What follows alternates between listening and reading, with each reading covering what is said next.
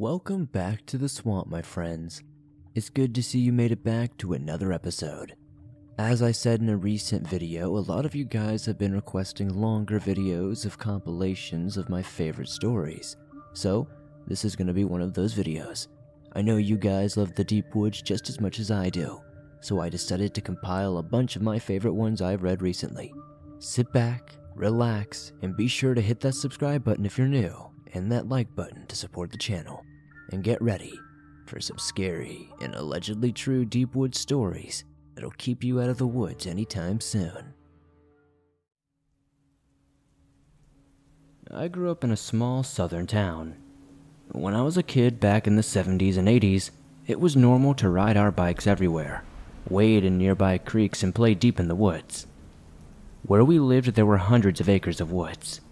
There were several spots we could pretty much just enjoy playing where odd shaped trees grew, grapevines hung over bank edges, or where clearings gave way to the joys of sunshine and wind.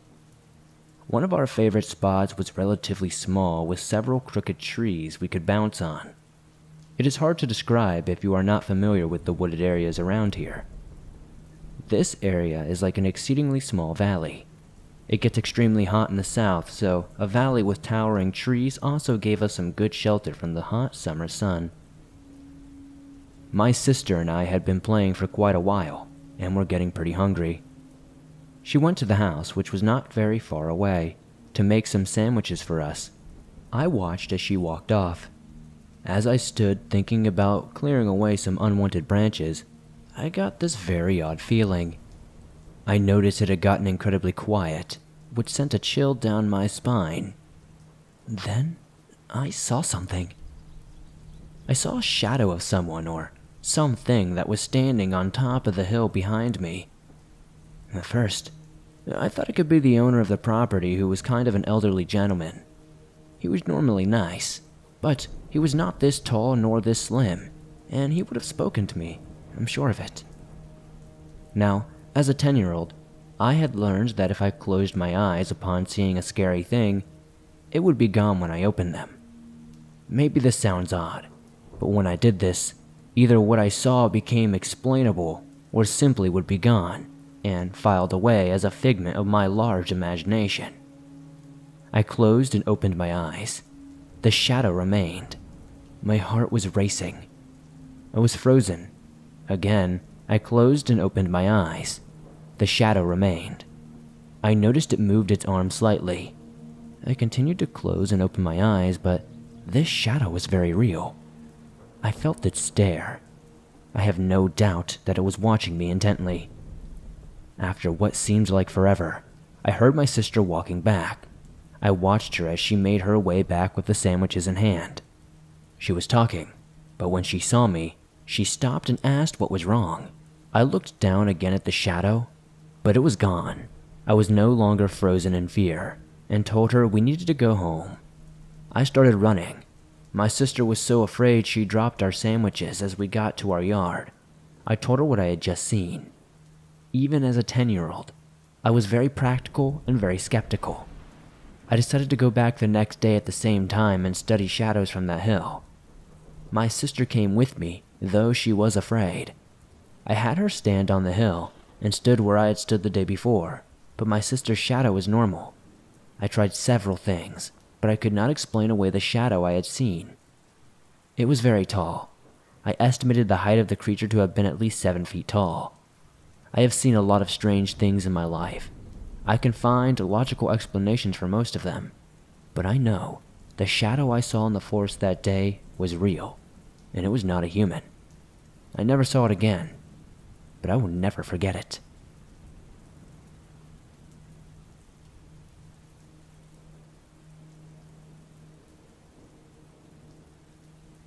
Hello, my name is Mason, and I have a story to tell you.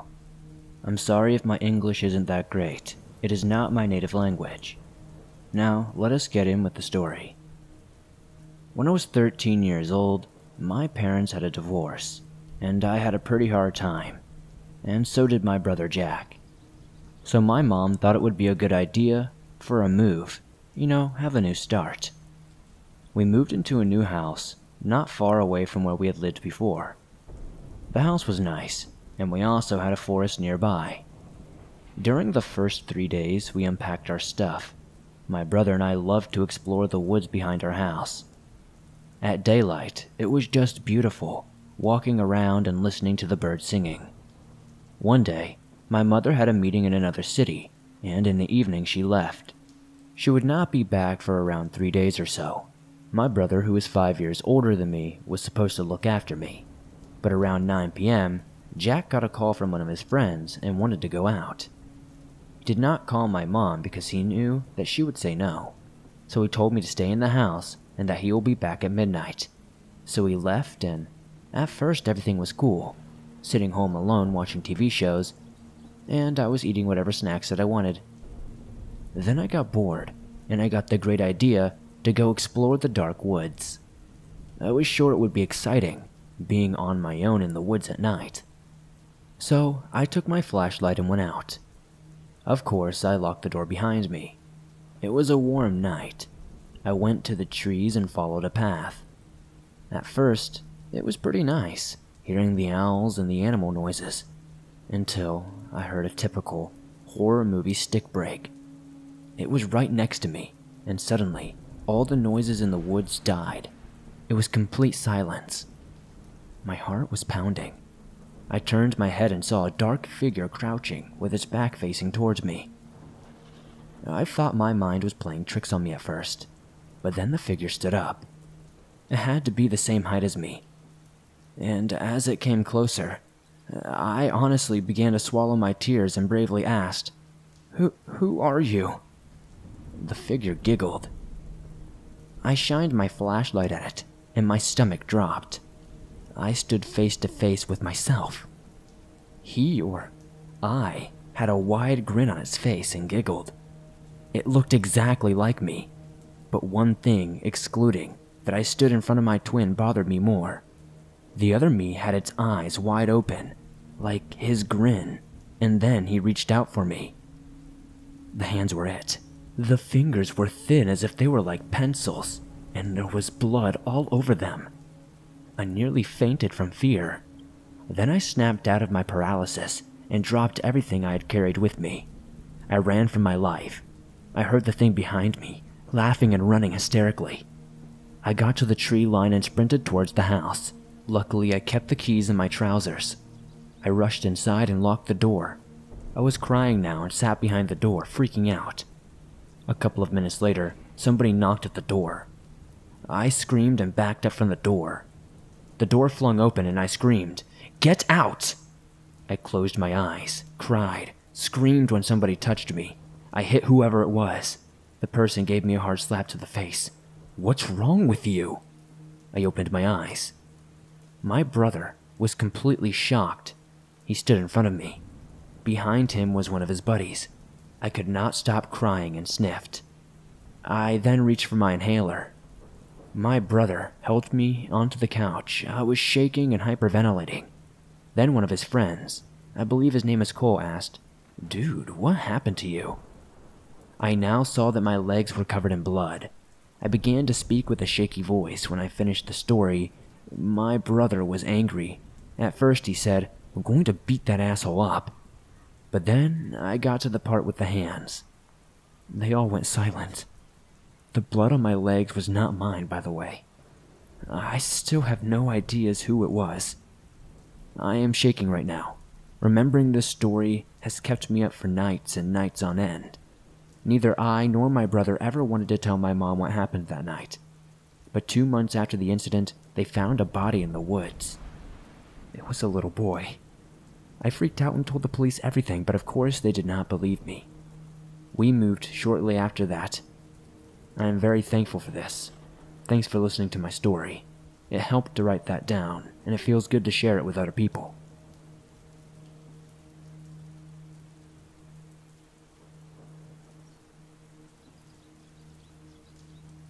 Hey, Swamp Folk. Sorry to interrupt these stories, but today's episode has been sponsored by HelloFresh. What is HelloFresh, you ask? Well, with HelloFresh, you get fresh, pre measured ingredients and mouth watering seasonal recipes delivered right to your door. You can skip trips to the grocery store and count on HelloFresh to make home cooking easy, fun, and affordable. And that's why it's America's number one meal kit. HelloFresh cuts out stressful meal planning and grocery store trips, so you can enjoy cooking and get dinner on the table in just about 30 minutes or less. You can try HelloFresh's quick and easy meals, 15 to 20 minute dinners, breakfast on the go, and more easy options perfect for your busy lifestyle. Honestly, I've been using HelloFresh for nearly two years now, and I absolutely love this service. It has expanded my palate, and I can try new meals from all over the world at any time. So, if HelloFresh sounds like something that could help your life, be sure to go to HelloFresh.com slash swamped14 and use code swamped14 for up to 14 free meals plus free shipping. Go to HelloFresh.com slash swamped14 and use code SWAMPED14 for up to 14 free meals plus free shipping. Come find out why HelloFresh is America's number one meal kit. Now, let's get back to the stories. To give a little bit of context, I'm a 28 year old man. I'm 6'1, 260 pounds, born and raised in the middle of the Corn Belt in Illinois. At the time of this incident, I was 22 or 23 years old. I had been a fisherman and hunter since I was a child, and my dad and I always hunt family land. We were out one day during muzzleloader season, basically modern day muskets for those who do not know. I am sitting in my tree stand when I look to my left and see a strange yellow light coming from the timber. It was coming from the direction my dad was in, so I take a picture of it with my phone and send it to my dad asking if that was him. Right at the same time, he was doing the same thing to me.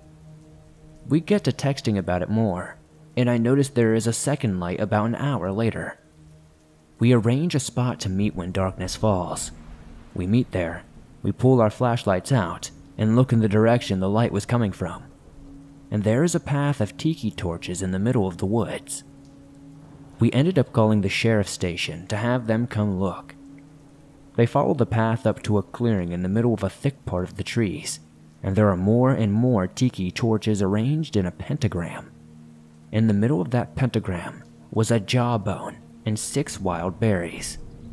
This was made even weirder by the fact that I was out on that same piece of property a week earlier with my uncle, and we had both heard a gunshot from that same spot. Neither of us or the sheriff's department found anything else but I still feel like I'm in a horror movie every time I get caught in the back of that piece of forest alone in the dark. Just as a side note, where we found the pentagram was only 20 yards from where I was sitting.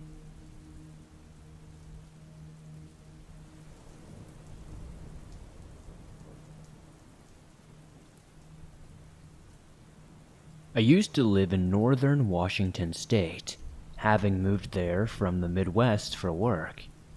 The town I lived in was big enough as it had a university and was close to the Canadian border, but not very populated and mostly rural, forested, and mountainous. Like the Midwest where I am from, there is a good amount of wildlife there. I would see bald eagles, owls, hawks, raccoons, deer, and I would see cougar prints on hiking trails. Thankfully, I never crossed a cougar's path that I know of. In the Midwest, I have seen plenty of deer. I cannot throw a stick without hitting one. Black bear on several occasions, and even been terrifyingly close to a moose once on accident. I am telling you all this so you know that I am 100% sure what my brain told me at first was a deer was not a deer. On the night I saw it, several years ago, I was heading back to work at around 11 p.m. I had been working the overnight shift for several weeks at this point, so was pretty used to the weird time of being at work. Uh, I was not especially tired and had already been awake for more than an hour, getting ready and had a cup of coffee in me. My commute consisted mostly of driving through flat land, since it is near the coast, with lots of trees broken up by some small fields. The road is lit with street lamps, but not enough to always be well lit the entire drive. I was coming around an unlit bend with a field on my right and a thick, treed median on my left. I saw a deer walking away from the road in the field. so I immediately let my foot off the gas and looked for more that might be coming out of the trees. Rarely did I ever see a lone deer. Always at least two or more, sometimes as many as ten crossing together. The deer was far enough ahead still walking that I looked back at it again as I passed by. As I passed it, though, I realized that it was not a deer at all. It was just very wrong. I really do not know how else to describe it. It had stopped in the field, and it just was not a deer anymore, or anything like a deer. I think it was bigger than a deer at the very least, and I felt like it was observing me as I passed by it. I had that sinking feeling in my gut you get when something dreadful is about to happen. But I went past it, stepped on the gas, and got back to above the speed limit while gripping the steering wheel with all I had. Nothing dreadful happened, luckily, and I got to work just fine. I have moved to a different state now, but I used to always look out for that not deer thing whenever I drove by late at night. I have no clue what I would do if I saw it again. It was not the only weird thing that happened to me there, but it is the one I think the most about.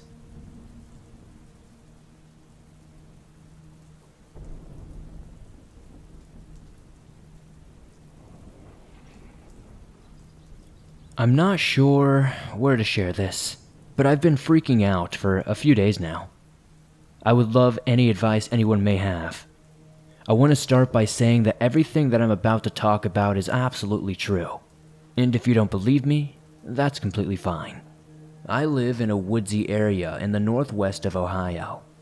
My house is about a half a mile in the woods, down a long driveway, and my property is surrounded by trees from each side except for the back, which has a field that alternates soybeans and corn every year. We're just a few minutes away from a very small village and about a half an hour away from bigger towns. I just wanted to give some background into the area before I say what happened, in case that helps at all. I've had some weird stuff happen before. I've encountered what I think are not deers. Once, there was one in my yard walking around apple trees which isn't uncommon, but the thing was huge and absolutely ugly, and it just looked all wrong. There was also one next to a country road I was driving down with my friend once. A few years ago, I was dog sitting for some friends. I never had a dog at this point, but I did have some experience watching them. So I was out walking this dog near the field, and he turned around as there was a huge splash in our pond he started growling and eventually howling. Other than that, the dog was really friendly, and I'd never heard him even growl before. I joked saying it was a frogman, like the Loveland frogman, but I ignored it for the most part. Last year, my family got a dog of our own, and he's a hound dog, so he chases and barks at pretty much everything. But sometimes, he gets weird about the pond too, and he'll growl and howl at it. He doesn't really growl other than that, and I have no further explanation on what is happening over there. But the incident that I came here to share about happened only a few days ago. This year is a corn year in the field behind our house, which I always hate because I can't see past the first couple of rows, and I've always thought that is pretty creepy. Before crops are planted, I like to rock hunt and metal detect in the field, surrounding the couple of woods scattered throughout the fields. There's a big creek that runs through it too, I mainly stick to the field directly behind my house because I don't have to wander out too far. The farthest out I've ever really gone is probably about a mile. A couple of days ago, I was out with my dog, walking along the line of dirt between the trees in the back of my property in the field, when my dog started growling at the corn. It obviously scared the hell out of me, and I was yelling at him to stop. When I was little, we would get coyotes around there all the time, so I figured it was more than likely a coyote. Since I didn't want myself or my dog to get hurt by the coyote, I started walking back to the house, but my dog just was not having it. He was pulling on the leash and baying and howling and losing his mind. He doesn't usually bay, and he doesn't howl unless there's a squirrel that's treed or something. So the fact that he was just screaming into the cornfield really freaked me out. We started walking again, and then I heard what sounded like a meow come from the corn. I was like, okay, it's just a cat. Cool. But I have a cat, and there's plenty of barn cats that cross our property, and my dog has never once lost his mind over a cat like that before. So I keep tugging on his leash, and I'm like, dude, let's go, you're freaking me out. The cat keeps meowing, and it's getting very uncomfortably loud for a cat. It sounded like it was a lot closer than it actually was. And then this cat thing started growling, but it sounded more like a big dog, like these were massive growls. Then the corn started rustling, bigger than what a cat would ever be able to do. Luckily, at that point, I was just about to my backyard, and the growling kind of developed into what sounded like a yell or a scream from a human being. I was dragging my dog at this point. My dog was growling, his hair on his back sticking up. I was scared and shaking. I was absolutely terrified.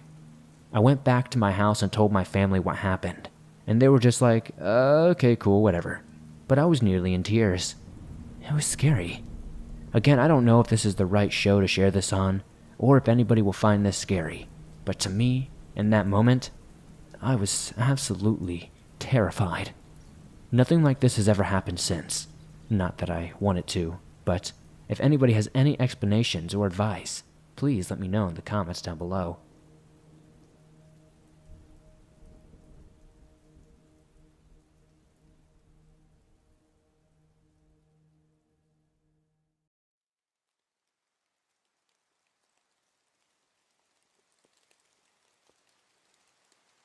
Hi, Swamp Dweller.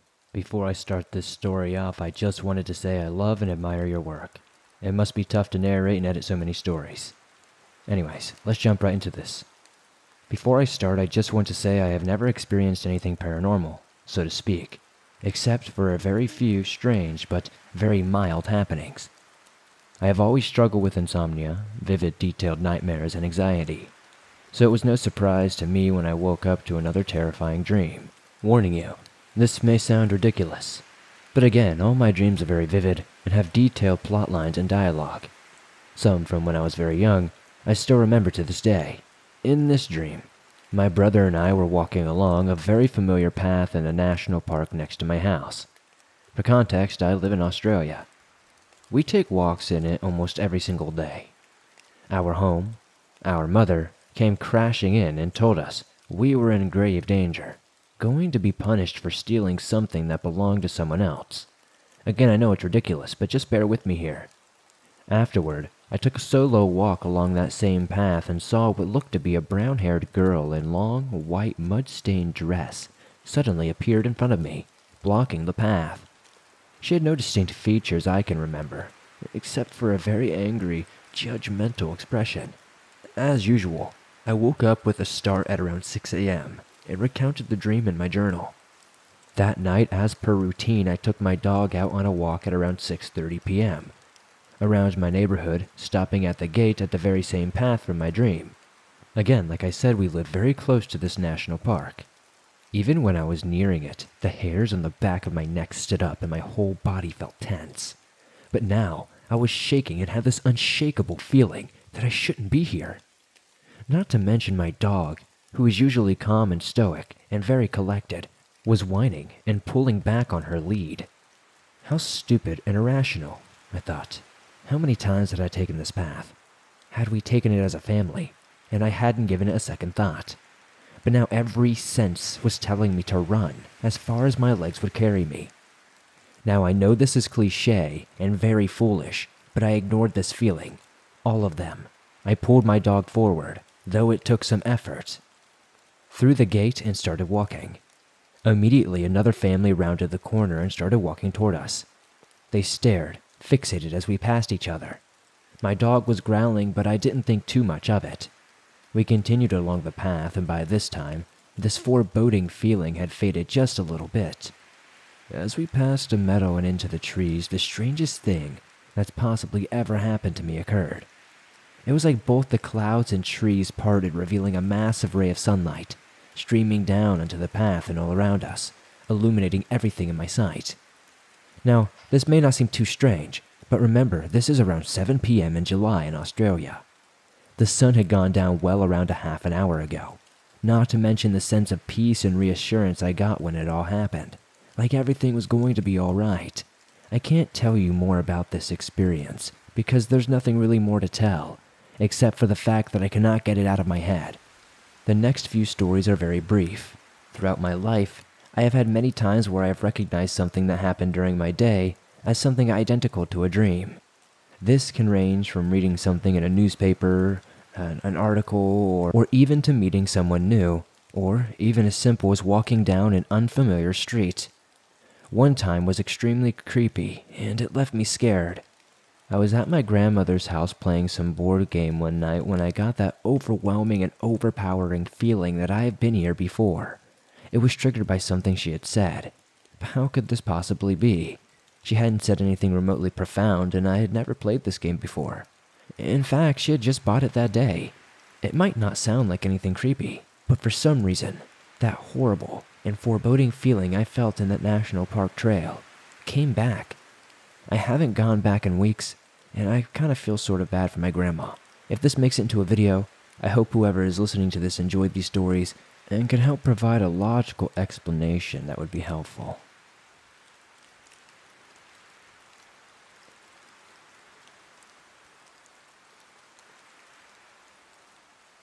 This is an account of my experience last week while camping.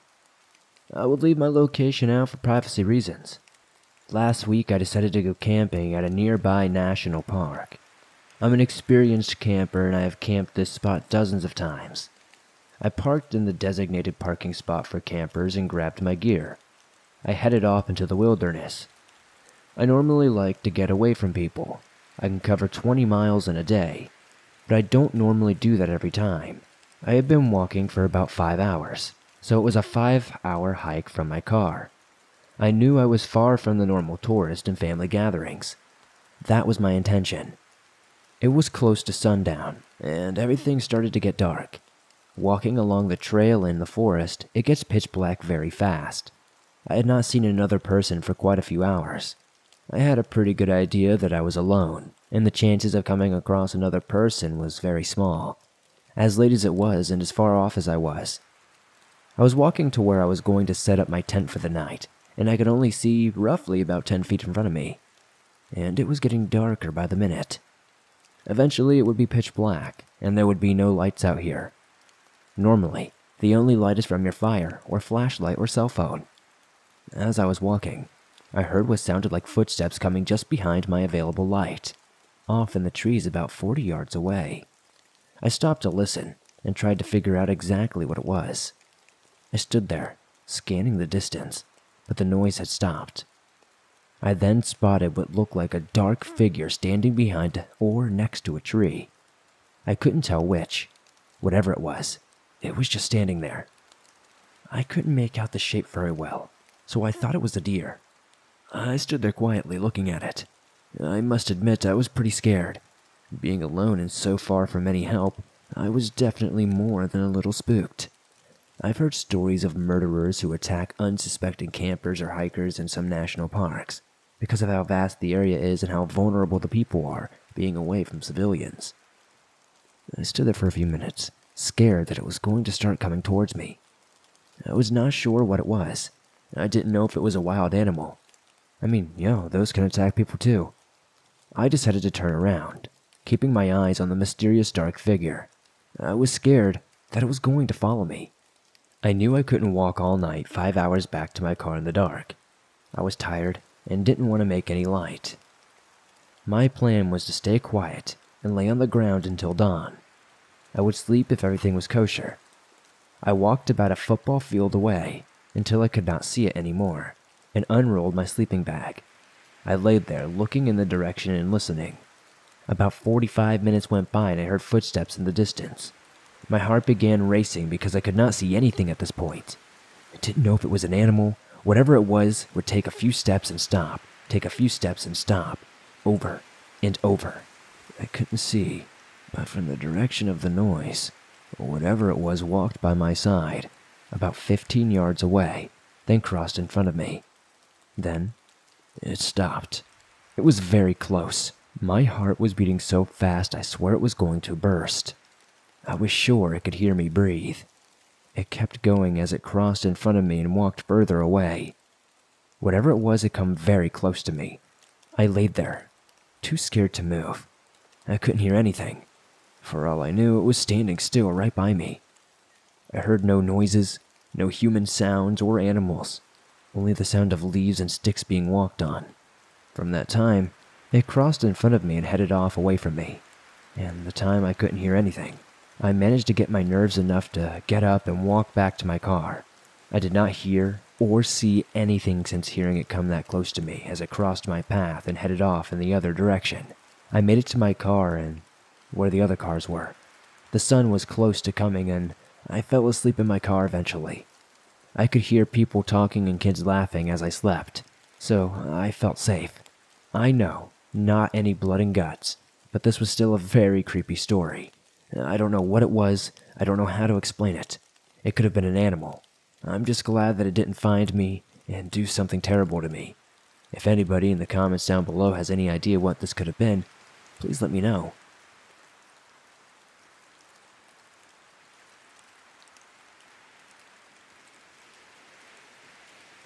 This happened a few years ago in a campground in Florida.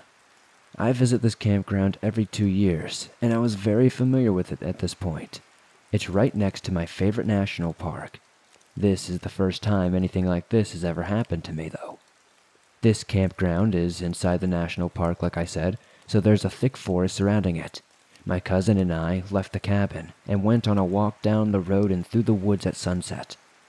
Roughly a mile or so in, we go off the road and into an area that I'm not very familiar with. It was a roundabout type road with trimmed weeds in the middle. The roundabout has two roads to it. The one we entered from, and another one that leads to an area I'm not very familiar with. To the left of the roundabout was a large cabin my family frequently rented out for events. To the right was a picnic area, gazebo, and such that overlooked a pond. We were surrounded by dense, thick forest. My cousin and I go to the gazebo to talk and watch the gorgeous sunset over the pond. We found the fuse box for the gazebo and turned it on for a little extra light while we talked. After a while, darkness started to catch up with us, and we realized the area looked like a perfect spot for a horror film. So, we decided to turn off the lights and head back to cabin. As I was in the center of a national park, there were no light poles or street lights. It was pitch black save for our phone flashlights. Once we turned off the gazebo, we noticed something that shouldn't be there. In the middle of the roundabout area was a green light and orb suspended about five feet in the air. It was about the size of a grapefruit, and it didn't move. There was nothing in the roundabout that could produce light, and the light didn't illuminate anything or look like it was attached to anything. My cousin and I were a little freaked out by this and make our way towards the road, avoiding the orb as much as we can. A short way down the road, we realized we had no idea where we were and that we went down the wrong road. We returned to the roundabout area and the orb is still there. Unfortunately, the road we needed to get to was on the other side, meaning we would have to pass this light about six feet away to get to it. We tried our best to walk by, and with a closer look, I still could not see the source of this light. We eventually returned to the cabin, and all was good again. That was my first and only time being in that area at night. I didn't take photos because I feared being in pitch black woods in the middle of the night, and I was too busy using my phone's flashlight to make sure I didn't accidentally step on a snake. That night, I googled for any paranormal activity in that campground and that national park, and only came up with random articles saying the devil appears in insert campground name here type of stories. Nothing really explains the orb though. I asked my friend about it, and he said it was probably an animal spirit, but it was very motionless it was just suspended in the air, just glowing bright green.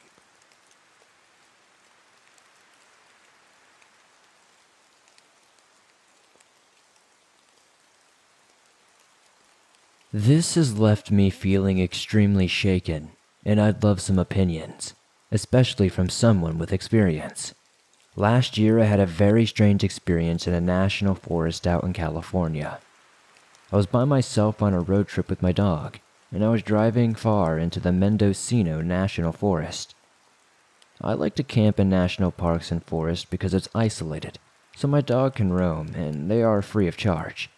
A trade off for the sketchy, rough drive into the park sometimes, and the lack of service and assistance. Anyway, I was driving up this dirt road kind of curling up a mountain. It was roughly around 5 p.m. if I had to guess. It was very nice out, sunny, and warm with a slight breeze. Nothing serious happened, but I felt extremely uncomfortable driving into the area, and that feeling did not let up. Driving up the mountain, I felt like I shouldn't stay there, and I even texted my boyfriend about it for as long as I could before my phone completely lost service. I was looking for a sign of another person having been around the area lately, but didn't see anything. I pulled over and got out of my car, and with my dog, to go look over to the edge and noticed a dead squirrel and some broken glass mixed in with the dirt and gravel road. Yucca, my dog, starts to growl slightly. She is vocal, but I've almost never heard her growl. I did see her growl at a possum once, I guess, so it could be something she smelled. This place continued to make me feel quite on edge, but I pride myself in being an independent traveler and backpacker, so I decided to continue at least a bit further with my grumbling pup to see if I could find a good place to camp. I continued to notice more animals. Dead animals. Keep in mind, no one is going to be going more than 5 to 10 miles per hour up this road, and that's if there's anyone even here. Suddenly, I hear men's voices. They sound close, and I think I should call out to them. So I stop my car, but I kind of freeze up and feel like I should not. I really cannot for the life of me make out what they were saying. I do not see any sign of people anywhere, and I get back in my car and continue to slowly drive forward and cautiously look for where the voices could be coming from. I've never run into other people in a national park or forest when I've gone this deep in. The unsettling feeling grows in the voices which have sort of come and gone a few times, and I give up and begin to turn my car around. Honestly, I do not remember how Yucca was acting on the way down. I was scared and focused on getting out of there safely. I just distinctly remember being surprised at her grumbling when we were standing outside of my car. Kind of dangerously quickly, I went back down the mountain not seeing any sign of anyone. I decided to spring for luxury and get a hotel for the night. I figured it was just fine. It was just a huge and open space, and it can be intimidating, I told myself. The voices could have been echoing from somewhere far off, and they just sounded close. Animals die, glass gets broken, nothing happens. Cool. But I remember this place. It sticks with me. Whenever I'm watching scary movies, if I'm walking my dog in the woods at night, nothing compares to the feeling I had driving up that mountain in that national park. It honestly kind of interests me sometimes but it always has me frightened. I recently happened across some information, as well as some Native American lore that made me feel extremely uneasy. Fast forward a year. I've mentioned this place to a few people and the haunting vibes it gave me, but nothing much more. I googled the national park once or twice and didn't see much of anything that looked like it matched my story. I like scary movies and I like things of that nature, hence my fascination with this whole event. So my boyfriend and I were coming up on finishing our road trip just yesterday. We were in Wyoming for a wedding. There were only two to three hours left and the sun had set, so we decided to listen to some scary podcast and YouTube videos. We went from the No Sleep podcast to the X Files and ended up on a swamp dweller video dealing with Native American lore. I'm half paying attention, petting my dog, playing Pokemon on the emulator. And I hear the narrator mention Wendigos. Very briefly, the narrator says what they are and casually mentions they can mimic voices. I mean, when I say the most horrible chills I had ever had in my life crawl down my spine, I stare at my boyfriend and ask him if he remembers that national forest I was freaked out about last year. He says he does, and he reminds me that he texted me I was probably close to a Wendigo. And he did do that. I remember him saying that, but didn't know much about their lore and thought he was just trying to scare me you know, some funny Bigfoot stuff. He was like, No, I mean, I was mostly joking, but I said it specifically because you said you were hearing voices that you couldn't find a trace of. I feel strange and I start Googling Wendigos, etc. They are allegedly able to mimic human voices and they would live in that sort of area. It all matched up. Obviously, there's a ton of questionable info out there, but I tried to find more reputable websites and authentic experiences, which is how I found this show. I then specifically looked up missing persons in the area, and the first headline that catches my eye is Another family goes missing in Mendocino. And I thought that this was very reminiscent of what I went through. I went through different websites and news articles of people going missing, but they are all a little hidden underneath national park websites and pictures of trees. I remember looking up the forest about a year ago and didn't see anything, and realized these stories didn't seem to be talked about much, which also piqued my intuition. It was stated that well over 100 people in the past eight years have gone missing, and had not been found on top of many who are found dead. It just was my intuition, super spiked, remembering how safe I, uh, I felt and how much I wanted to get out of there at any means necessary. It still terrifies me to this day to think about. And even though it was just a storytelling video, those stories originate from somewhere. I have done a lot of solo traveling both in and out of the country, and I have never had such a bad feeling. On top of seeing such an unnecessary number of dead animals in a national forest, just seems so strange.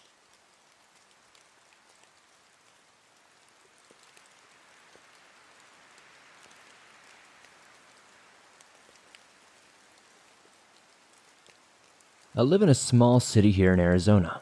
About 40 miles or so to the north is the city of Phoenix, as well as the Tonto National Park. But to the south, it's pretty much all desert as far as the eye can see. A lot of the outdoorsy type people opt to go hiking in the mountains of Tonto or along the Salt River near Roosevelt, but I much prefer the Sonora Desert. There's something peaceful about being out there, and nothing beats rambling through the mesas listening to Horse with No Name to relieve stress after a busy work week. But if there's one thing I've learned from hiking out there, it's to stick to the lowlands. Because there are people hiding among the bluffs out there that you really don't want to run into. And this is my own personal encounter with one of them that took place a few years ago. So, a couple of years ago, I went hiking in the Tonto National Park. It's unusually hot for this late afternoon, and I'm starting to run out of water. I usually start heading back to my car when my canteen starts to run low. As you can imagine, it's not safe being out in the desert with no water. But I was in a real hiking mood. I had more than my usual amount of stress to burn off, and I honestly didn't really feel like turning around just yet. Then, right as I'm deciding whether to actually call it a day or not, I see something shining out from a hilltop not too far away.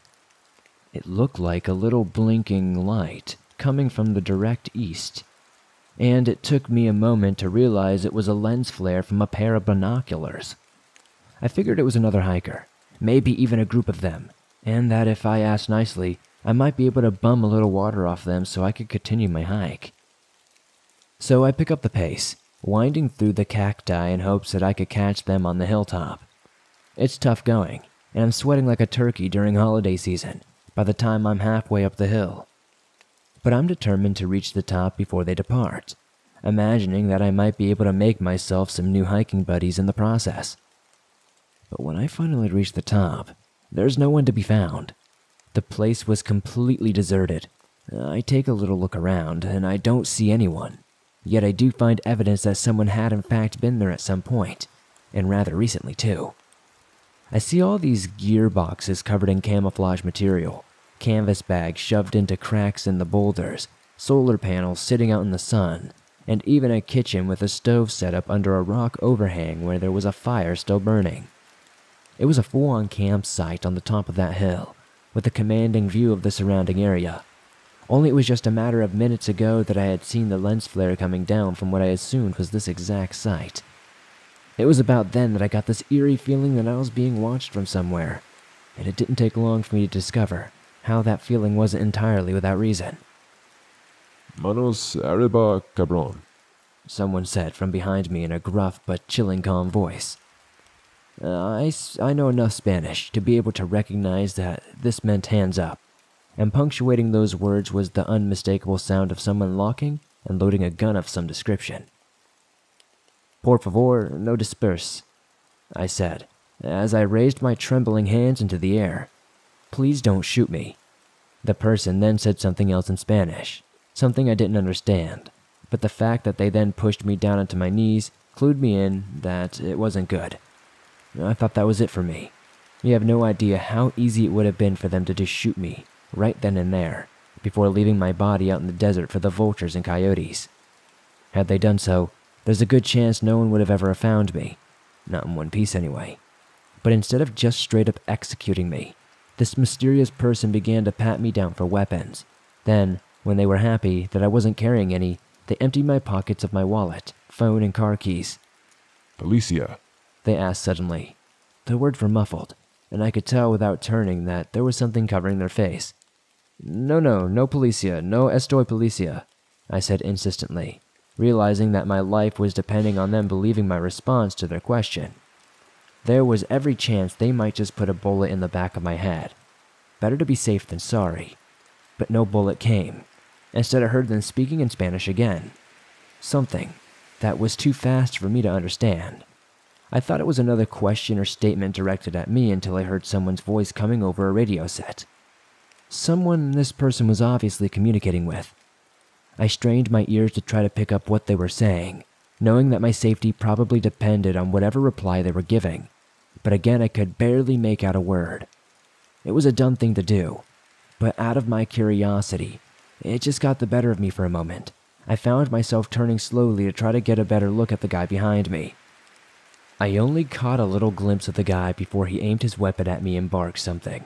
I believe, don't look at me, was probably what he said, but I vividly remember what he was wearing. Besides the ski mask that I figured he was wearing, he basically had a full military garb on combat boots, khakis, a tactical vest, and he held spare magazines for his rifle, as well as what looked like smoke grenades. I had no idea what he was doing up there, being so well equipped, but whatever it was, he meant business. The next thing I know, he throws my wallet and water bottle and car keys down in front of me, then holds my driver's license up to my face. You talk, you die. He says in broken English, before ordering me to my feet and dismissing me with a curt, Vamos. I did as I was told, utterly terrified that this mysterious gunman now knew my name and my home address, and would also be able to share such information with whoever his supervisors were. Naturally, I had absolutely no intention of reporting him to the police, and I never told a single soul about this story. Until now. And I only do so under relative anonymity, because when I got home from that hike, I did a little research on who that guy could have been, and what I found out absolutely terrified me. One of the first things I read online was an NBC article from 2011, which detailed how the Sinaloa cartel was sending scouts up into the hills around the Sonora Desert and the surrounding national parks. They were trying to track movement and activities of law enforcement the article said that these cartel surveillance teams will camp up in the hills for sometimes two whole months at a time, and there were thought to be up to two to three hundred operatives working out there at any given time. They are even equipped with highly sophisticated military gear like night vision goggles and radio encryption equipment. I realized it was one of these guys that I ran into on my hike, and that I had been extremely lucky to have gotten away. If that guy had even suspected I was a DEA agent or something, and not some dumb hiker who was walking somewhere he shouldn't have been, I'd have had my bones picked clean by desert scavengers before the weekend was out. I won't lie, I'm no tough guy, and the whole experience most certainly put me off hiking around the desert for a while, as it was frankly one of the most terrifying experiences of my entire life. My first time back was a little nerve wracking, and I couldn't help but keep my eyes off the hills just looking for that telltale glare of the binoculars of someone watching me.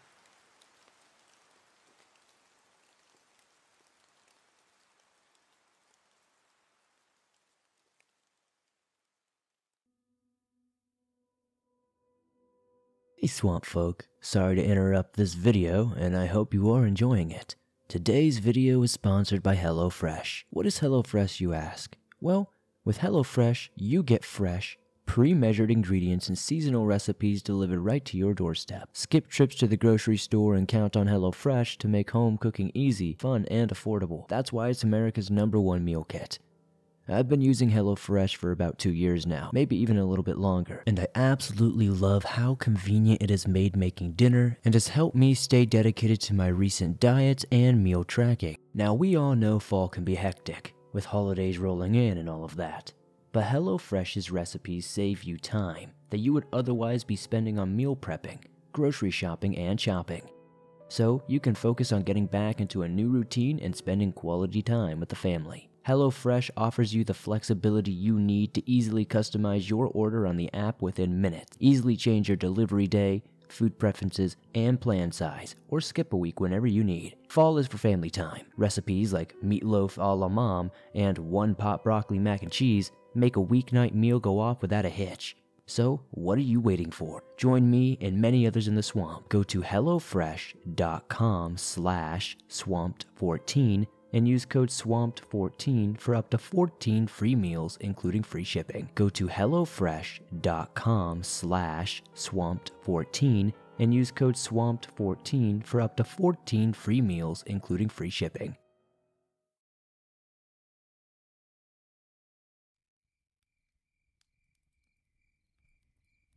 We used to live in a haunted house. A wildly haunted house. And haunted or cursed land whatever you want to call it. I had invited a friend of mine at the time named Sky. We would go into the woods behind our house, chill and do normal teenage girl stuff, talking about boys and our relationships. Well, we decided for some reason to get up and go deeper into the woods because we knew there was a house being built not far from us. After a while of walking to this new structure, we sat on an old dried up log. Around us, we were just completely alone and it was just woods. We had randomly gotten quiet, and the silence was broken by a faint chanting loud enough to hear, but too faint to understand the words. The hairs on the back of my neck stood up, and I could feel goosebumps on my skin. I swear, we could have gotten whiplash at how fast we looked at each other. Oddly, we immediately thought of some demonic stuff along with the lines of satanic worship. We nodded at each other, and I knew we were thinking the exact same thing. The second we stood up and heard the chanting clearly, sticks broke and we heard the classic horror movie nursery rhyme, Ring Around the Roses, by little girls, just chanting. Without a second thought or stutter, we ran all the way to the road, freaked the heck out, and walked home from there. A few months would go by and nothing seemingly happened. And then, uh, I thought it too soon. Covers started to be pulled off of me at night, and my door would creak shut on its own, but it was my brother who had the biggest scare. My brother was up one night, up by himself as he usually does, laying on the couch. He was watching some of the regular ghost adventures, funny enough, and he gets a weird feeling. He looks around, uneased to see nothing. He looked out at the board on our kitchen floor that covered up the hole where the floor caved in. We were going to fix it in the morning. He shook his head and just thought that he was hearing things. Having paused the TV, he resumed it again. In the corner of his eye, he sees the board in the kitchen fly up and drop. Freaked out, he runs to my room and wakes me up. I think he's joking because I didn't hear anything and went back to bed. After some time, he sits back on the couch and watches TV as if nothing happened. Well, now he has to use the bathroom, so he gets up and goes to the bathroom. As he walked into the bathroom, he heard rattling on the bathroom glass, and the window was open for some reason. He brushed it off and went back to his business. When he finished, he turned his head to see black claws opening the window. He freaked out, honestly. He had no idea what to think. He thought something was starting to crawl in. My brother screamed like a girl. He was only 14 years old at the time and woke my dad up. But when we looked out the window, it was shut and everything in the house was fine.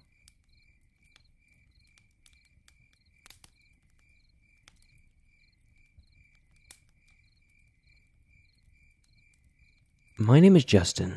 I'm 37, but my story happened when I was 25 years old and a graduate of Bible College. For a bit of context, I will tell you a little bit about the state of mind I was in. I was raised very religiously by Southern Pentecostal parents. So, when I graduated high school, Bible college seemed like a smart choice as religion was everything to me at that time. However, at Bible college, I was soon awakened to the new reality most of what I had been taught by pastors and ministers growing up was simply not true. So I spent four years at college unlearning my entire upbringing and stumbling into a whole new reality.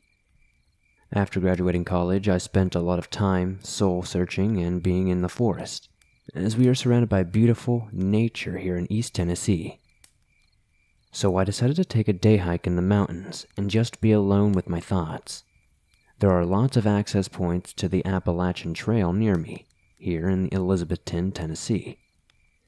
I took a light pack containing water and snacks up to the mountain and got on the Appalachian Trail before going up the beaten path.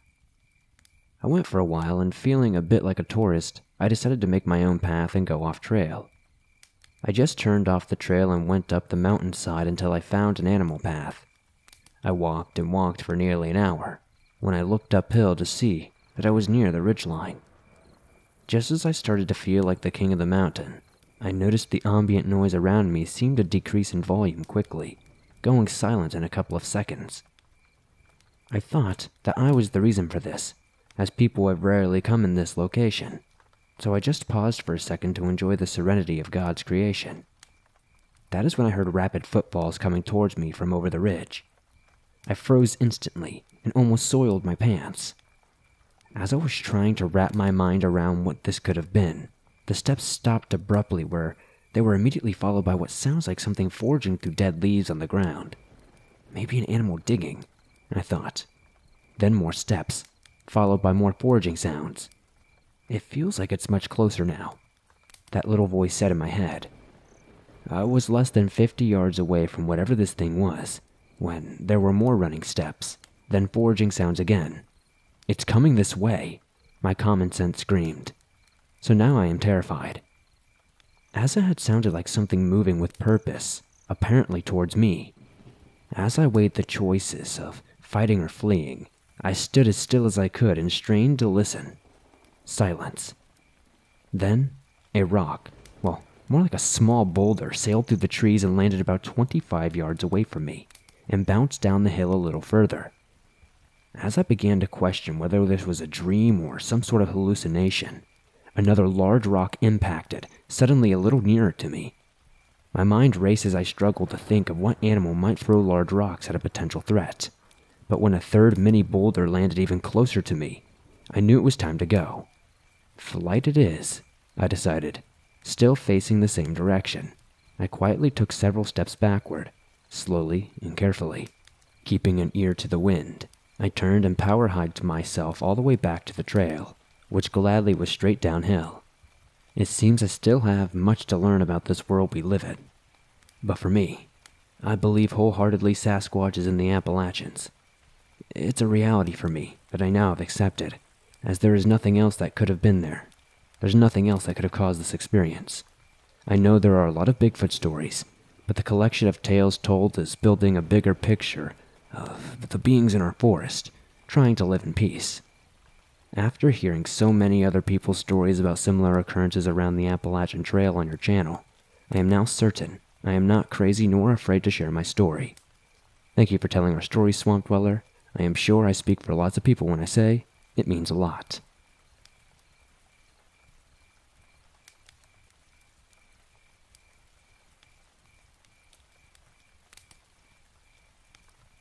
I experienced this back when I was 14 years old. Now I am 23 years old. Back when I lived on the outskirts of a small town in Montana, behind my home there was a forest. Now I have never stepped a foot into these woods until that day. The only time I had even gotten close to that forest was when I was tasked with walking the family dog, Charlie. Now, Charlie was a pretty big dog. I had never seen him cower before. On one of our walks, I heard noises in the woods. It was the sound of a branch snapping. Occasionally, when I took walks with Charlie, I would keep hearing these noises. One important thing to mention, though, is that whenever I took Charlie out during the day, nothing would ever really happen. But during dusk and dawn or nighttime, I would always hear these noises. The day I decided to head into the woods was an extraordinary day because it was my 14th birthday. After everyone was in bed, I had snuck out with Charlie and we navigate our way through, or, well, try to. We ended up getting lost and came upon an abandoned shed in the middle of the woods. Then the last thing I expected happened. Charlie started whimpering. That was never a good sign. I had wondered if there was someone there, but I couldn't see anybody. I didn't think I would need any form of protection, so I didn't have any with me. And then I heard the sounds the sounds of crunches and snaps. All of the wildlife went silent. I was terrified, so all I could do was run to the shed and hide. Something or someone got closer. I heard the leaves crunching. It was the only way I could tell how close it was getting. Then a loud bang resonated through the woods. It was walking on top of the roof. I couldn't stop shaking, but I'd like to think that Charlie could now tell how scared I was because he started licking me. Around five or ten minutes later, it hopped off the roof and I peeked out the nearest window. There was a human like creature with grotesque long limbs, pale skin, just like the moon, jagged bones, and joints. It was extremely thin. Its spine was protruding underneath its skin. Instead of bumps on the spine, they were like tips of a knife. I felt sick to my stomach and almost hurled. I managed to see its face. It was roundish. Its eyes were beady. They looked black, but I'm not completely sure. They were glossy like the eyes of a doll. Lifeless. And soon it had started to walk away, but not without turning back to me and letting out a demonic roar, like the roar of a lion mixed with the caw of a raven. I think it knew I was there. I don't know what prevented it from killing me, but whatever it was, I am forever grateful. Remember, if there are woods near you and you hear strange sounds, leave it alone. Never forget that there are things out there that won't be as merciful as it was to me. And if anyone knows what this is, please let me know in the comments.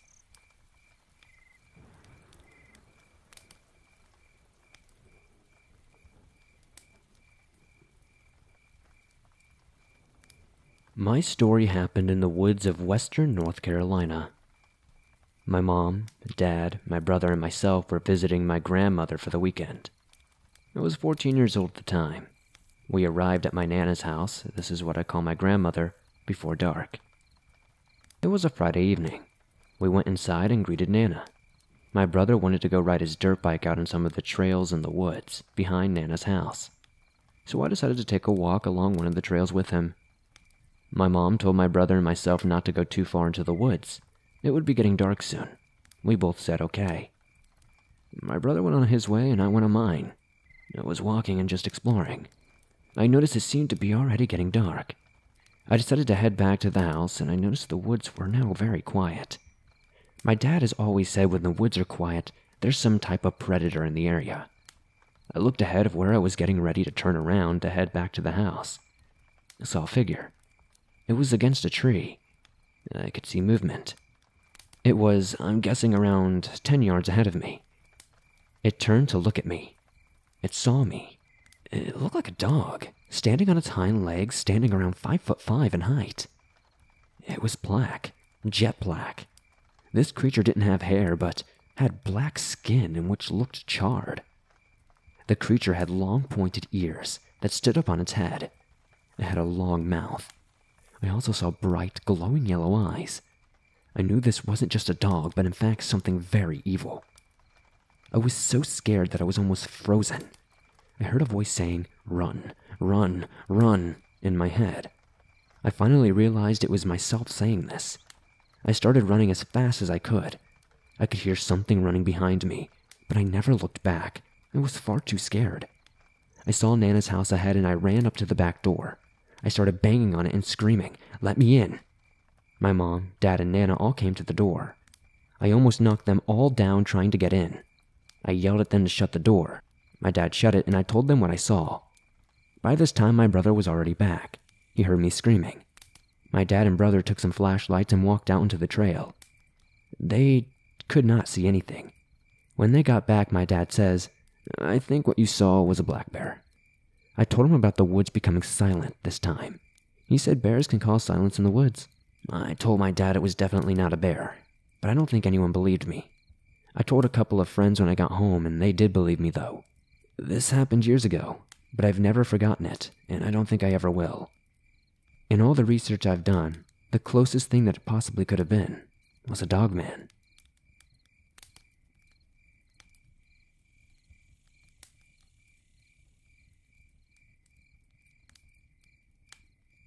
To give a little bit of context, I'm a 28 year old man. I'm 6 foot 1, 260 pounds, born and raised in the middle of the corn belt of Illinois. At the time of this incident, I was 22 or 23 years old. I've been a fisherman and hunter since I was a kid, and my dad and I always hunt on family land. We were out one day during muzzleloader season. Basically, a modern day musket for those who do not know. I'm sitting in my tree stand when I look to my left and see a strange yellow light coming from the timber. It was coming from the direction my dad was in, so I take a picture of it on my phone and send it to my dad asking if it was him. Right at the same time, he was doing the same thing with me. We get texting about it more, and I notice there's a second light about an hour later.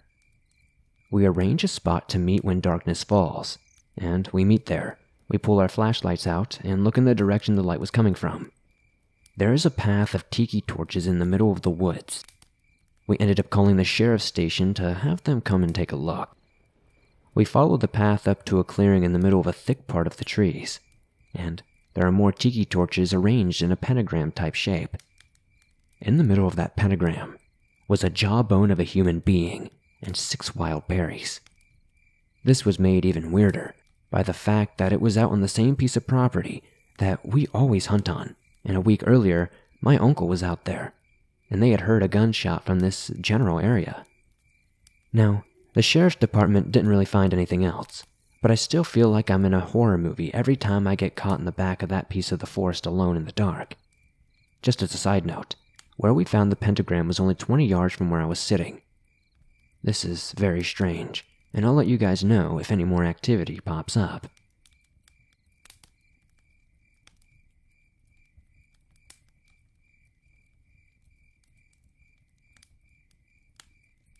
Me and my friend, whose alias is Elizabeth, always go on evening walks when I am sleeping over at her or her sister's house.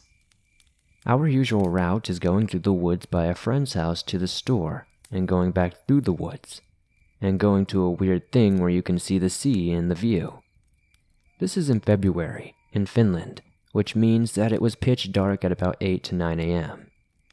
We were on our way back, about halfway to view this thing, and we heard a sound that sounded like a flute, but at the same time didn't. Basically, a harmonic, unnatural sound. We looked back and saw nothing. She asked me if I heard it. I said, Yeah, do you still want to go to Kokosdennen? I asked, and she nodded. We walked about a meter or so and we heard it again, but it was distant this time. At that moment, I started to pay more attention because the first time we heard it, it sounded like it was on our right in the woods, and the second time it sounded like it was 20 meters away, on the sand path we were walking on. When we arrived to the view thing, we walked seven steps up to the first level, and I heard a crack in the trees. And on the way there, we heard the sound from all different directions, in varying directions and distances. We walked up the first narrow flight of stairs to the second level, which was smaller than the first, and we walked up the last flight of stairs to get to the top level, which is a square about the size of 3 meters times 3 meters. I sat on the bench, overviewing the rest of the forest and the sea. My back turned from where we came from, and Elizabeth sat on the side where her back was turned to the path. And that's when it hit me. We were hearing the sound, but didn't hear any type of footsteps. It was dark out when we went, so the sky was dusted with stars. She looked at me. What? Don't like I don't like that you're looking at me like that. You're kind of scaring me. What is it? I looked up and heard the sound again, but it sounded like it was under us now. Um, can we go like now? I walked before her because I'm stronger than her and can somewhat fight. When we were down from the view thing, we sped walked, and then boom, we heard the sound deep in the trees on our left, and not even two minutes later, we heard it right behind us. She started walking faster, and I looked back. There was no one there. Let's run until we're at the pavement, I said, and she agreed. When we were finally on the pavement, we crossed the street twice so that we were on the road leading home. When we heard that sound from down the hill, which is impossible, I asked her if we could run 15 meters and then walk. We did that and didn't hear a sound after that. We thought it was over. But no. When we were about to cross the street to get to her house, we heard it again. It was directly behind us, or at least I did. She claimed that she didn't hear it that time. She was fumbling with her keys to try to get down. We ran down the seven steps and opened the door. I tried pulling the door closed, but it felt like someone was pulling it open. When the door finally shut closed, we ran up the two flights of stairs as fast as we could while being quiet and opened her apartment door, and quickly went to her and her sister's room. When we got there, her sister asked why we were so shocked and spooked. We told her, and their mother. She said it was probably a fox, and over the course of the night, I kept hearing footsteps in the staircase of the apartment building. The footsteps would occasionally stop at the front door, and I would hear taps on the door, and then it went down again. This repeated the entire night. The neighbors are all old, so they were all asleep, and who would do that all night? The next morning, we searched up what a fox sounded like, and it definitely was not a fox.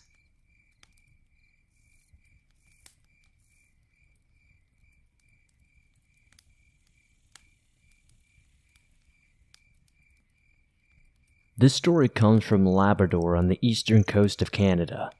Before the iron ore mines and hydro dams took over in the 1960s, the fishing and fur industry was the main source of income. Young men on the coast would leave their homes in the fall, paddle up the Churchill River in a canoe, and spend the winter trapping furs and living in small log cabins called tilts. In early spring, as the season was winding down, one such trapper was finishing up his evening meal. He lit his pipe and was just sitting down to a cup of tea when he heard a voice coming seemingly from nowhere. In a hushed but clear tone, the voice told him to pack up all of his belongings and leave the cabin as soon as possible.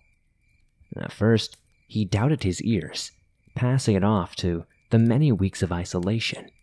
Shortly after he finished up, he stepped outside to take in the evening air, but was again met with the same phantom voice telling him to pack his gear and leave. He was now certain he was not hearing things, and strangely, the voice sounded incredibly familiar to him, like it was someone he had known his entire life. He laid down on his caribou skin blanket for the night. He decided that if he heard the voice for a third time, he would listen to it and leave. Sure enough, not long after he bedded down, the voice now clear as a woman's voice pleaded with him to pack up and leave. He immediately sat up and began to gather his belongings, and well before the sun was up, he was heading back to civilization with his furs and gear in tow. It wasn't until he got back to town that he learned from another trapper how a day or two after he left, the ice on his part of the river broke up early and flooded the area, making travel impossible. If he stayed in the cabin, he would have been stranded for nearly a month, with his supplies mostly gone from the winter in the woods there was a very real chance that he would have starved. When the trapper was an old man, he revealed that when he left the tilt that night, he was hit with the realization that the voice he heard was that of his mother, who died when he was younger, and he credited her spirit for watching over her son and quite possibly saving his life.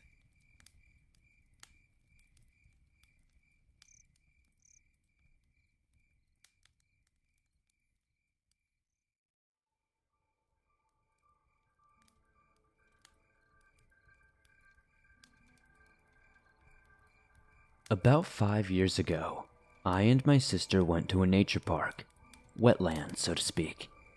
Of course, we went at night so we could skateboard around, because you were not allowed to. But you know, I was a 14 year old trying to look cool in front of my 24 year old sister. Well, we went around the time the sun was setting. For a little bit more context, we got lost in the park because it was very big, with condensed and thick woods. We were trying to find the bridge, a 20 foot or so bridge, so we could hang out just above the rushing river. By the time we got there, the sun was hardly visible over the mountains. I was just looking around after drinking my water, and here's where all the creepy stuff begins. As I looked to the other side of the bridge, I saw a tall, skinny figure. I first shrugged it off like it was a person, maybe a park ranger of the park. But then it got on all fours and ran away very quickly. At first, I really didn't say anything, mainly because I thought it could be a bear or something else entirely. I looked back at my sister as we chatted about boys and many other things. Then I looked back at the end of the bridge. My sister did too, and we both saw the same figure this time. At this point, I was incredibly freaked out. Mind you, it's not quite dark outside yet. The sky was purple and orange, so it wasn't like we were seeing things, like when your mind pictures figures in the dark. No, it was right there and getting closer and closer. I told my sister to get the hell out of there. Her going first off the bridge and down the hill. I went second. As I turned to look at the bridge again, it was five feet in front of me on all fours once again. It stood there as me and my sister skated off. This isn't even the end. I told my sister to head to the main building since there were cameras and lots of light. We skateboarded for what felt like hours. Every minute seemed to last an eternity. As we finally got to the main building, we stopped riding our boards. Out of breath and scared out of our minds, we both looked around for this thing. By this time, it was pitch black outside and we could hardly see a few feet in front of us. We made a mad dash to the car, taking a path we have never seen before, but it was outside the park which made us feel a little bit safer. After we got to my sister's Jeep, we both jumped in, hearts racing and scared out of our minds. When we tried to leave, the gate was locked though, meaning we couldn't leave since there was only one way in and out of the park. We got even more scared. Terrified, but trying to keep our wits about us, we tried everything to get out. We even thought about just leaving the car behind and walking the two hours home. But we drove onto the sidewalk and got out of the park eventually. To this day, I won't go back to those wetlands ever again, even in daylight. Whatever that thing was at the river, I never want to see it again. I can't stop thinking about it, and I'm almost 19 now. You can think this is just a story, but I swear it really did happen. Me and my sister don't even talk about it to this day. Something changed between us. Uh, I could feel it after that day.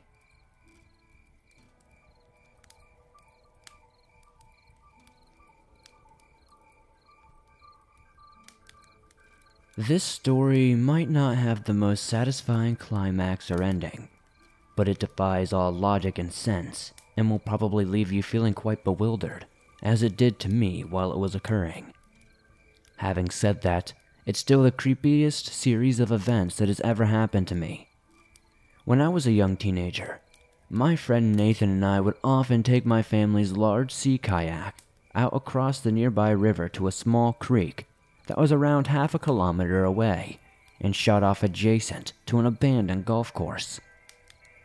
This creek was very slow moving compared to the large Hawkesbury River, and because of this, a lot of rubbish and debris would collect at the mouth of the creek before slowly being distributed throughout its length. Nathan and I spent a lot of time at this creek. We even built a small jetty to tie to the kayak to use long sticks with to catch the baling from the twine that would come from the hay bales that we used to feed the horses back at home. We used this jetty to moor the kayak while we navigated the mess of prickly pear cacti that guarded the borders of the golf course. The golf course itself was incredibly eerie. No animals, birds, or even insects would be heard in that area. Every noise that you made was echoed back at you from a nearby sandstone cliff face. The closest thing that we saw to an animal was the skeleton of a kangaroo, which we found around the second time we went there. It was strange as we had only gone to the spot around a week or so prior, and there was no corpse. Yet, there, in the middle of the clearing, was a full kangaroo skeleton, some bleached and scattered about. We picked up some of the bones and admired them closely, remarking on what part of the skeleton we thought each bone was before tossing them aside. I took the skull back with me in the kayak and placed it on the bookshelf in my room when I got home that afternoon. I often took things back from outings. Nathan never really did, but he was always on the lookout for things for me to collect. The next time that we went out to the creek, we decided to try our luck at exploring the waterways as far down as we could. We armed ourselves with machetes and a small hatchet that we used when we built the jetty and set off. The journey was made extremely difficult by vines that spanned the creek from bank to bank, sunken logs and dense river weed that made paddling near impossible. The water was full of garbage, too. Broken tubes, life jackets, boat propellers, you name it, it made its way there. As we made it through to a relatively rubbish free area that had dark, ominous looking water, I looked down briefly and saw what I thought was a doll's head just below the surface of the water. I stopped paddling to crane my neck to see it more clearly. It was a doll's head for sure, around a foot below the surface, as if it was tethered from the riverbed. It was looking up with a blank expression and light blue eyes. I instantly got a panicked feeling as I gazed at it. Before I could say anything, Nathan explained, Oh, cool, and plunged his hand into the water. I could tell that Nathan was surprised at how deep he had to reach to wrap his fingers around the head, but Nathan was a determined guy. He lifted the head out of the water and looked at me grinning, streams of water running from his closed fist as he held it toward me triumphantly. Uh, I took it reluctantly from him. It was a small doll's head around three inches in diameter. The head was clearly sun damaged, and as a result, it had lost a lot of the paint features. There were no discernible pupils on the eyes, just the blue colored irises.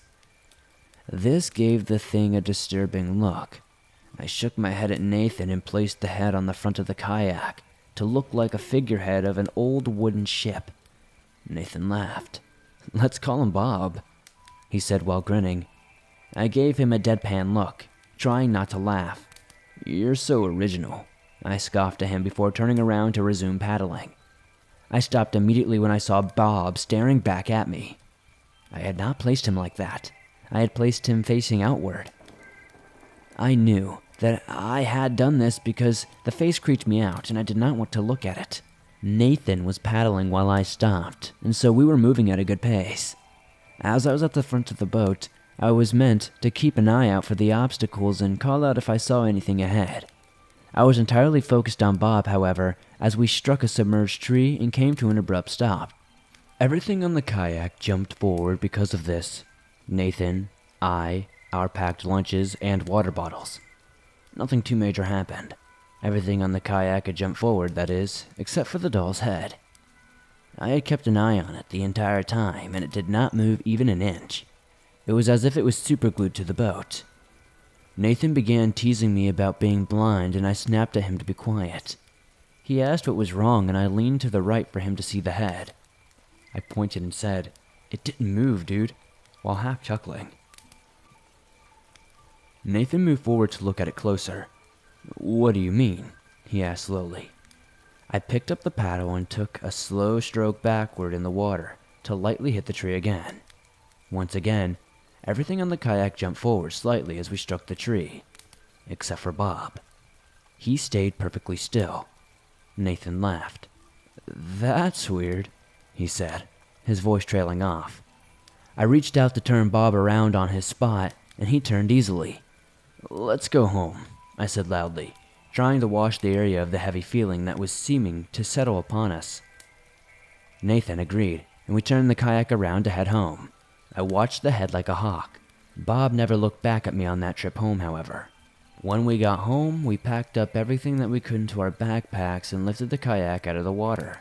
The head was stuffed into my pocket. I had not told Nathan about how creeped out I was, out of fear that he would give me crap, or give him possible ammunition to play a dumb prank on me with it.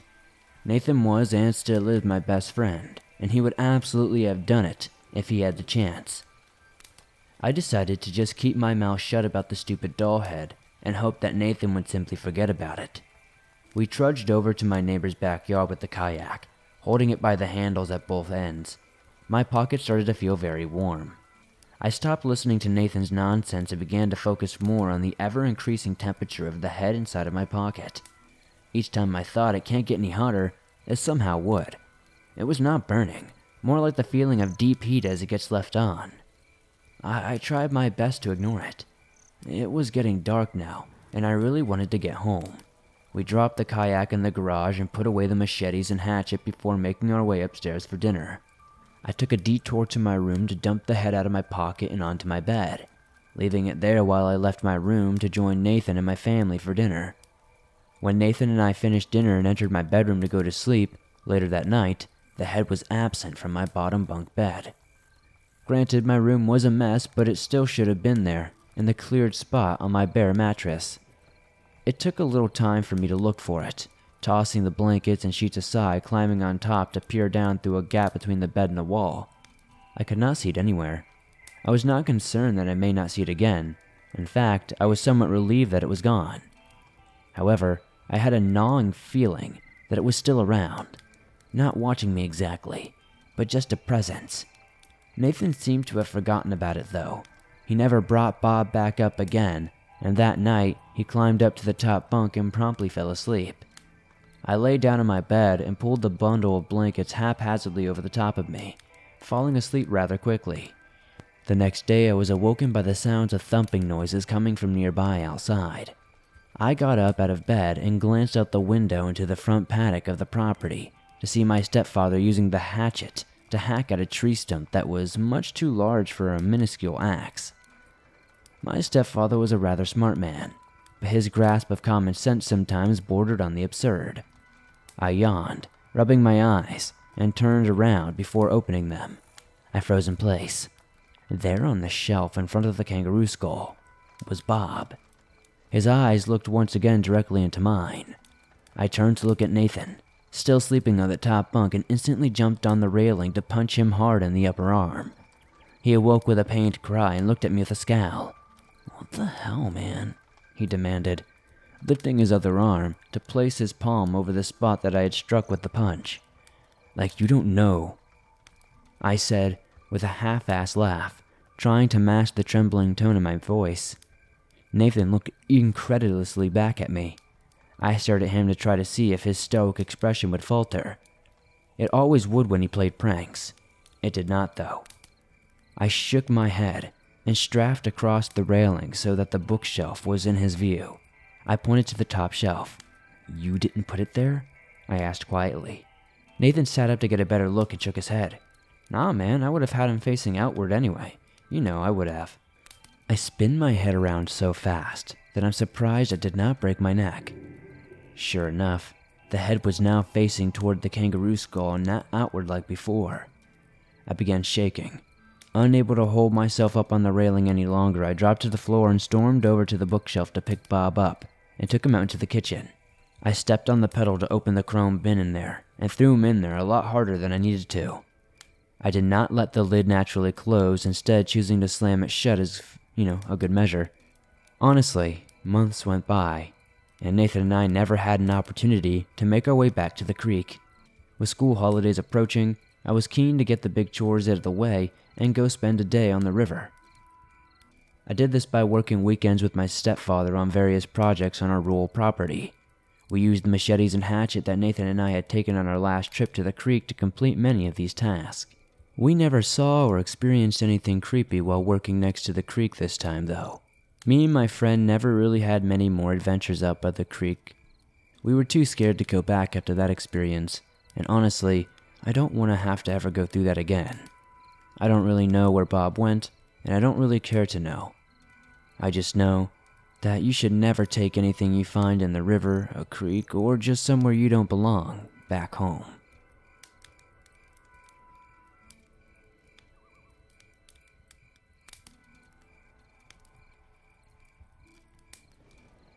So, back when Pokemon Go came out, I was spending the summer with my mom at the trailer park she lives in in Wyoming. It was a really messy time in my life. Mom and Dad hadn't really been divorced all that long, and they were totally at each other's throats over custody and possessions and stuff. Dad had found a girlfriend, which I suppose was good for him. But I was 19 at the time, and I just didn't want to hear anything about it.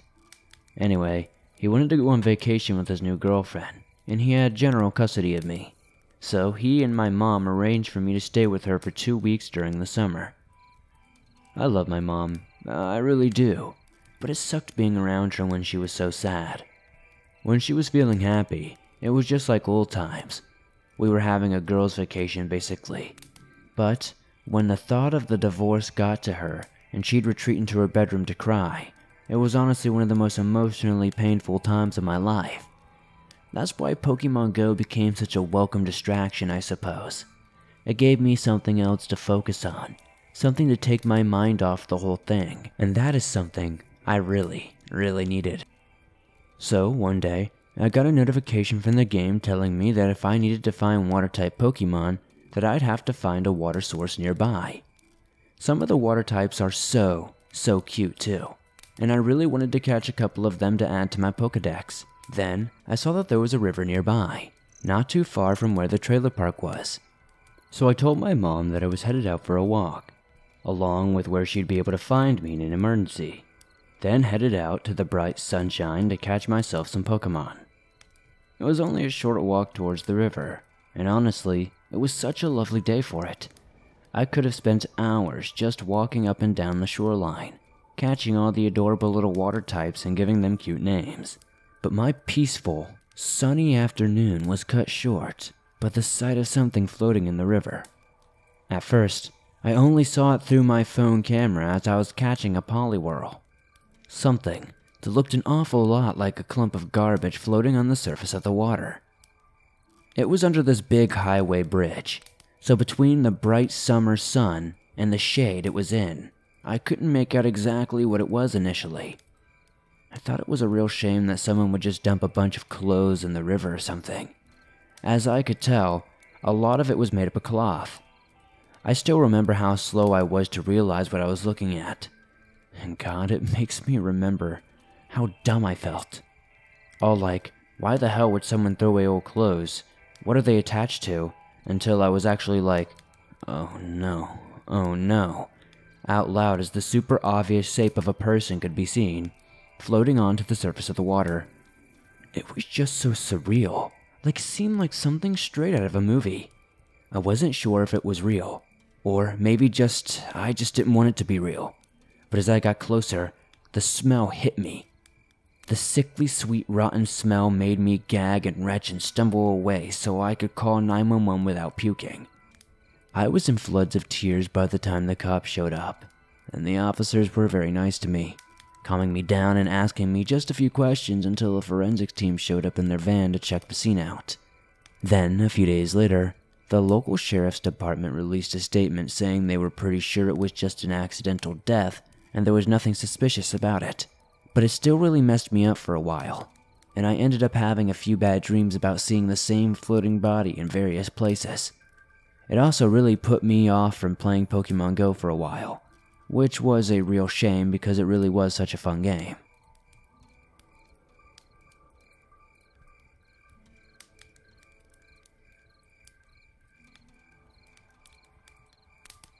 Fourteen years ago, my father and I were driving into work early one morning along a rural Wisconsin road that runs along the Trimble River.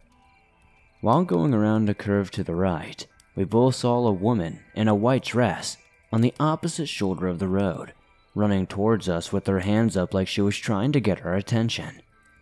We noticed her just before we passed her, and my dad hit the brakes and spun right around. It was a very curvy road, so we figured she must have gone into the ditch. We were probably a hundred feet from where we were when we saw her, when we turned around. We drove back almost a quarter of a mile when we didn't see her in case she kept running. We couldn't find a car in the ditch or a person on the road. She must have hidden in the ditch. It always seemed weird to me that someone would seemingly flag us down then hide. I don't believe in ghosts, but I looked at many deaths along that road and couldn't find anything in that specific place at all so within a few months, I forgot all about it. Today, at around 7 a.m., I was driving down that same road and saw a bundle of roses that had been thrown out of a car. A bad Mother's Day for someone. Occasionally, I like to think of myself as an amateur photographer, and I thought it would be a cool noir picture with everything in black and white except for the petals torn apart on the road. Well, while I was taking some pictures, uh, I realized it was quiet. Too quiet. No birds, no bugs. I couldn't even hear the water in the small river next to the road. All I could hear was the light wind. And I don't know how to describe how silence can feel loud, but it was oppressive, almost deafening. Quiet like the woods on a winter night when all the birds are gone and the bugs are dead. Except the sun was shining in mid May, and it was around 65 degrees Fahrenheit. I jumped in my car and sped off. By the time I got around the next curve, I could hear birds and water again. That was when I remembered seeing the lady 14 years ago, and the roses were in the exact same spot as she was running when we passed her. I don't know much about the paranormal. I do not really believe it myself. I know the roses are just a coincidence, but I cannot explain that silence. Just felt unnatural and bad. I am just sharing this on this show to see if anyone else has ever heard of a phenomenon like this. My brother and I have talked about investigating further, possibly late at night, but neither of us have a clue what we are doing.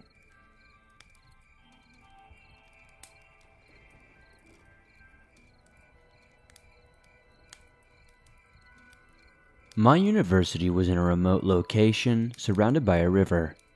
It was almost like an island, very isolated, and during the weekend, all the locals go home, making it even more eerie. This happened in 2014 when I was around 22 years old. My roommate went home for the weekend, so I decided to sleep in my friend's room. Around 1 p.m., I woke up feeling thirsty. My friend was studying, so I decided to walk to my room and bring the water bottle as my room was on the other side of the corridor. There was an elevator at the end of the corridor, which played soft music, and you would know if the elevator was on your floor. So, I walked towards my room, and as I turned right towards the corridor, I saw an unknown girl staring at the elevator without moving. First, I didn't know who she was, because we can usually tell which year a student is by just being able to see how they act and move around the campus.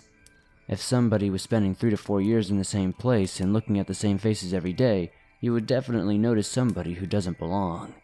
Secondly, the girl was wearing denim pants, sports shoes, and was carrying a backpack as if she had just came back from her class. What's strange is that the hostel door closes at 8 p.m. The girl was looking straight at the elevator buttons without even blinking. The elevator was still out on her floor, so why wasn't she going in? I could see her side face. It was a very strange stare. I don't know how to explain it. I automatically stopped walking after seeing her and got goosebumps all over my body.